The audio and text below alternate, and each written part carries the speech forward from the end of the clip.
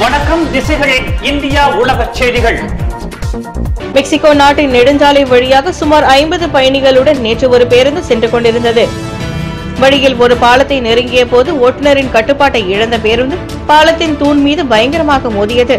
மோதிய வேகத்தில் நிலை குலைந்து பக்கவாட்டில் அந்த பேருந்து கவிழ்ந்த விபத்தில் பத்து பேர் சம்பவ இடத்திலேயே உயிரிழந்தனர். அமெரிக்காவின் புளோரிடா மாகாணத்தில் உள்ள கடற்படை தளத்தில் ஆயிரக்கணக்கான கடற்படை வீரர்கள் பணியாற்றி வருகின்றனர். இந்நிலையில் அந்த கடற்படை தளத்தில் இன்று நுழைந்த மர்ம நபர் திடீரென அங்கு பணியில் இருந்த வீரர்களை நோக்கி கண்மூடித்தனமாக துப்பாக்கிச்சூடு நடத்தினார். இந்த தாக்குதலில் ஒருவர் உயிரிழந்தார். மேலும் பத்துக்கும் அதிகமானோர் படுகாயமடைந்தனர் பாகிஸ்தான் நிதி நெருக்கடியில் இருந்து மீள்வதற்கு வழியின்றி தவிக்கின்றது. பிரதமர் இம்ரான்கான் பல்வேறு சிக்கன நடவடிக்கைகளை எடுத்து வந்தாலும் அதெல்லாம் அந்த நாட்டை நிதி நெருக்கடியில் இருந்து மீட்டெடுத்து விடாது என்று சொல்லப்படுகிறது.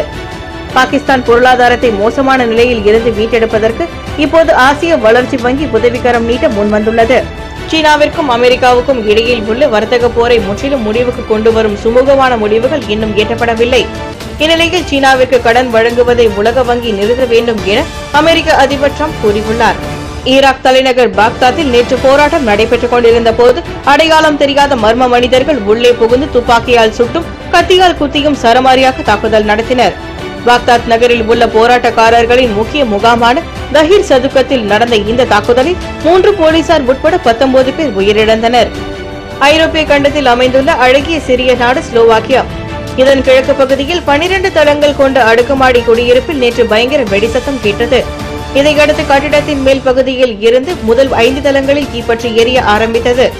தகவல் அறிந்து சம்பவ இடத்திற்கு வந்த காவல்துறையினர் மற்றும் தீயணைப்பு படையினர் மீட்பு பணிகளில் ஈடுபட்டனர். அடுக்குமாடி குடியிருப்பில் எரிவாயு கசிந்ததால் இந்த தீ விபத்து ஏற்பட்டிருக்கலாம் என அதிகாரிகள் தெரிவித்தனர். இதுவரை ஐந்து நபர்களின் சடலங்களை தீயணைப்பு வீரர்கள் மீட்டுள்ளனர். நாற்பது பேர்கள் இந்த விபத்தினால் காயமடைந்து உள்ளனர் ரூபாய் எழுபதாயிரம் கோடி நீர்ப்பாசன ஊழல் வழக்குகளில் அஜித் பவார் குற்றமற்றவர் என்று நாக்பூர் ஹைகோர்ட்டில் லஞ்ச ஒழிப்புத்துறை போலீசார் பிரமாண பத்திரம் தாக்கல் செய்துள்ளனர். மகாராஷ்டிராவில் பாரதிய ஜனதா மறுக்கப்பட்டுவிட்டது. கேரளாவில் தோற்கடிக்கப்பட்டுவிட்டது இப்போது ஜார்க்கண்டிலும் நாங்கள் பாரதிய ஜனதாவை தோற்கடிப்போம் என்று முன்னாள் நிதி மந்திரி ப. சிதம்பரம் கூறியுள்ளார். ஹைதராபாத்தில் பெண் கால்நடை மருத்துவர் கற்பழித்துக் கொன்ற வழக்கில் கைதான நான்கு பேரையும் போலீசார் என்கவுண்டரில் சுட்டுக் கொன்றதை குஜராத் மாநில முதல் மந்திரி மற்றும் எதிர்க்கட்சி தலைவர் ஆகியோர் பாராட்டினர். உத்தரப்பிரதேச மாநிலம் முன்னா மாவட்டத்தைச் சேர்ந்த இளம்பெண் கடந்த ஆண்டு டிசம்பர் மாதம் பாலியல் பலாத்காரம் செய்யப்பட்டார். சிவம் திரிவேதி மற்றும் சுபம் திரிவேதி என்ற இரண்டு பேர் கடத்தி சென்று இந்த பாதக செயலில் ஈடுபட்டனர். இருப்பினும் கடந்த மார்ச் மாதம் தான் வழக்கு பதிவு செய்யப்பட்டது. வழக்கு விசாரணைக்காக நேற்று காலை இளம்பெண் தனது வீட்டில் இருந்து ரேபரேலி கோர்ட்டுக்கு புறப்பட்டார். கோர்ட்டுக்கு செல்லும் வழியில் சிவம் திரிபாதி மற்றும் சுபம் திரிபாதி உள்பட ஐந்து பேர் சேர்ந்து அந்த பெண்ணை தீ வைத்து எரித்தனர். தொண்ணூறு சதவீத தீ காயங்களுடன் டெல்லி சப்ஜார்பூர் மருத்துவமனையில் தீவிர சிகிச்சை பெற்று வந்த அந்த பெண் நேற்று இரவு உயிரிழந்தார். அவரை தீ வைத்து எரித்த ஐந்து பேரும் ஏற்கனவே கைது செய்யப்பட்டுள்ளனர். ஜார்க்கண்ட் மாநிலத்தில் இன்று இரண்டாம் கட்ட சட்டமன்ற தேர்தல் நடைபெறுகிறது.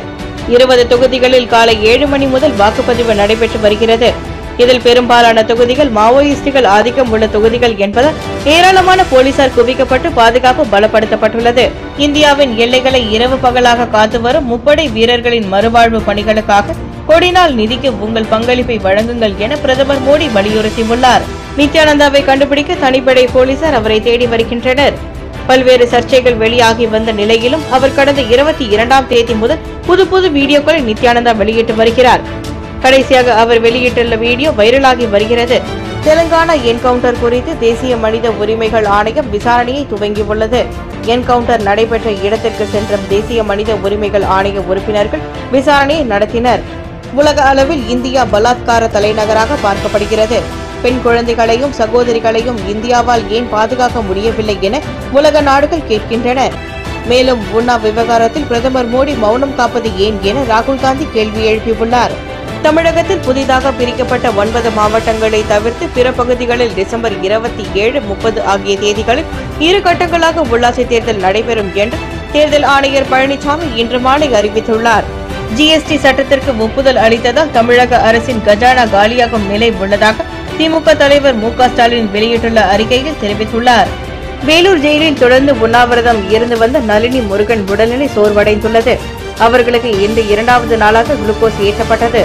இந்தியாவில் வெங்காயத்தின் விலை தொடர்ந்து உயர்ந்து கொண்டே வருகிறது. சென்னையில் ஒரு கிலோ வெங்காயம் மலேசிய நாட்டின் மதிப்பில் ரிங்கிட் பன்னிரண்டு புள்ளி ஐந்தையும் இந்திய நாட்டின் மதிப்பில் ரூபாய் இருநூறையும் தாண்டி விற்கப்படுகிறது. புதிய அவதாரம் எடுக்கும் ரம்யா நம்பீசன். பீட்சா சேதுபதி படங்களில் நடித்து பிரபலமான நடிகை ரம்யா நம்பீசன் புதியதாக யூடியூப் சேனல் ஒன்றை தொடங்கியுள்ளார். தைரியமாக இருந்தாலே பெண்களுக்கு பாதுகாப்பு கிடைக்கும் என நடிகை நித்யா மேனன் தனது சமீபத்திய பேட்டியில் தெரிவித்துள்ளார். ஓவியம் மூலம் உலக புகழ்பெற்ற ஏ பி ஸ்ரீதர் தற்பொழுது கதிர் நடிப்பில் வெளியாகி இருக்கும் ஜடா படத்தின் மூலம் வில்லத்தனத்தில் முத்திரை பதித்திருக்கிறார். இத்துடன் இந்த செய்திகள் நிறைவு பெறுகின்றன. மீண்டும் செய்திகள் நாளை இரவு ஒன்பது முப்பது மணிக்கு. இது திசைகளின் தயாரிப்பு.